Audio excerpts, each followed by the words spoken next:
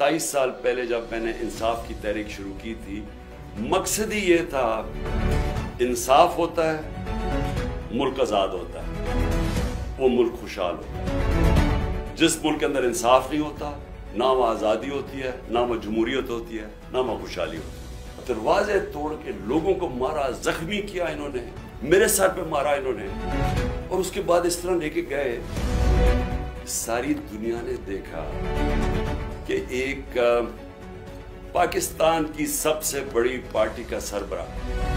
वो पाकिस्तानी जिसको सारी दुनिया और पाकिस्तान 50 साल से जानता है।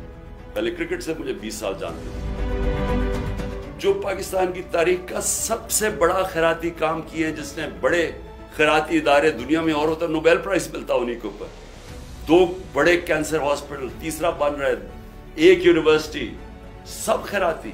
और फिर अलकादर। जिसने अपनी सारी पचास साल का जो पब्लिक लाइफ है, एक क्रिमिनल केस नहीं था। जब आपकी मुल्की अखलाकियात खत्म होती है मुल्क तबाह हो जाता है।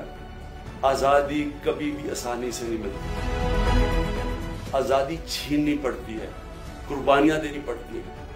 ये है आज़ादी की हमारी जद्दोजहद। ये जहाद है।